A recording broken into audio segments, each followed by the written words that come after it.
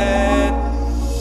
Ütle mulle, mis sa teed. Tibulinnu, mis sa teed, mis su mees on, sa oled sõprudöök, sa oled kopu, sa oled teekond. Teenin raha taskusse ja mis seal üldse veel on. Hitin teda tagant ja siis pärast hitin eespoolt tibulinnu, mis sa teed, mis su